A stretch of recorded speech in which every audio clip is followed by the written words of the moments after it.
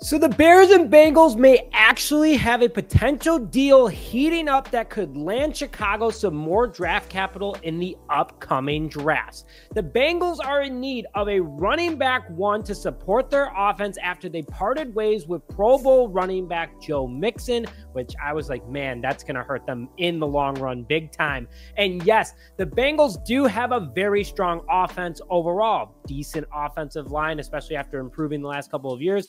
Quarterback Joe Burrow, wide receiver room that's super top notch at the moment. There's a little bit of disruption there as well, but they don't have much going on from a running back perspective. And some rumors have begun to swirl around that they have been calling teams that are either very deep or too deep at the running back position and have something to give.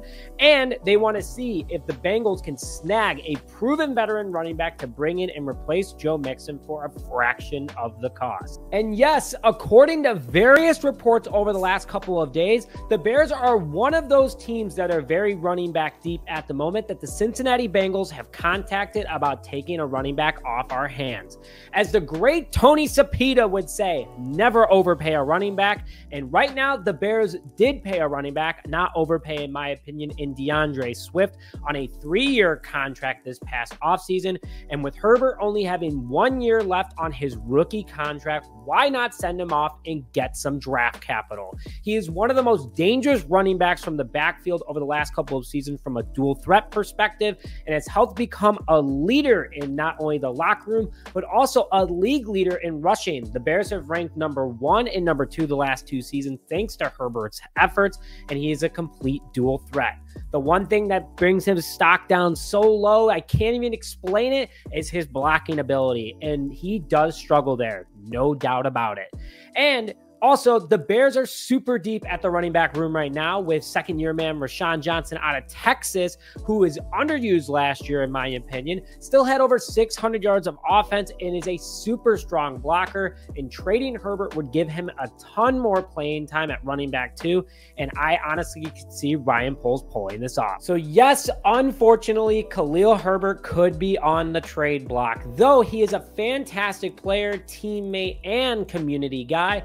Business is business, and he is the big target of today for the Chicago Bears that could be heading to the Cincinnati Bengals. Now, before I begin today's show, if you would like to see the Chicago Bears trade Khalil Herbert and get some more draft capital out of it, comment the trade that you would do with the Cincinnati Bengals that would be fair to both sides. Along with that, also hit the like button on this video if you think this team is a lot better than last year and you're ready for some Chicago Bears football. And if you haven't already, please could hit that subscribe button with notifications if you haven't already to stay up to date on all Chicago Bears news and updates.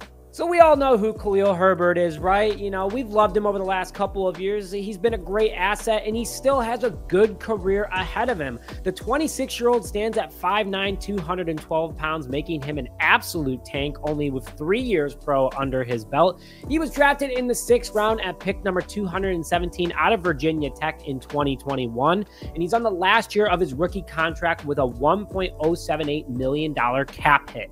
So he's going to want to get paid next year. The Bears are pretty locked in at running back, right? At least running back one right now. They got more guys that they got to pay. They're putting together this Super Bowl roster right now. And Herbert, unfortunately, might be on the chopping block. And he is not one of Ryan Poles' guys. He was drafted by Ryan Pace in Pace's last draft as a GM.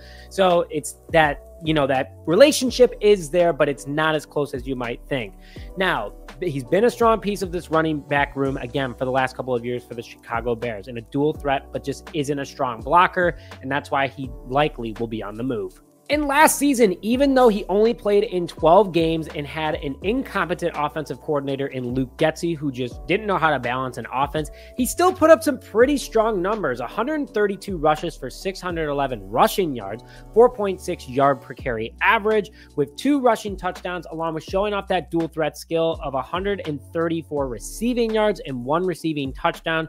In total, 745 all purpose yards while being inconsistent. That's a huge win in my book, and I can see why the Cincinnati Bengals want to snag him. And why Duke Tobin's calling the Chicago Bears? They lost Joe Mixon. They don't really have a total running back to determine that roster. I mean, they need more, obviously, right now. They want to keep the offense moving and happy. They need a veteran, but also young at the same time that's a dual threat and a guy that they can use on a one year rental potentially. And that's pretty darn cheap. So the trade that I would do, running backs are pretty easy to pick up in free agency, mid round or later, or even an undrafted rookie free agency. But with how cheap that Herbert's going to be this upcoming year, he's a pretty attractive guy, especially on a team like Cincinnati, who does have an opportunity to make a push. And Poles loves his draft capital, and it may cost a little bit more than you think for the Bengals to take him off our hands. I would send Cincinnati Herbert straight up, no doubt about that, for a 25 fourth and a 26 6. Why? Because we lost our 25 fourth when we traded back into this year's draft that ended up getting us Austin Booker, which was by far a total steal. Along with that, on top of it, why not have an extra pick in 2026? And you compare that with another later round pick and potentially move up you know, not too much, but you never know what Ryan Poles could have up his sleeve. I like Herbert a lot. He's been fun to watch, but this is a business at the end of the day, and honestly, a good deal in my book. But that's it for this episode of Just Another Year Chicago. Thank you for tuning in. And please, if you haven't already, put your thoughts in the comment section below on this video, along with the trade that you would do, along with hitting that like button to show your support and subscribe if you want to stay up to date on all Chicago Bears news and content. Thank you, as always, for tuning this episode of Just Another Year Chicago Bears. My name is Nick Rohde, and as always, let's hear it bear down, baby.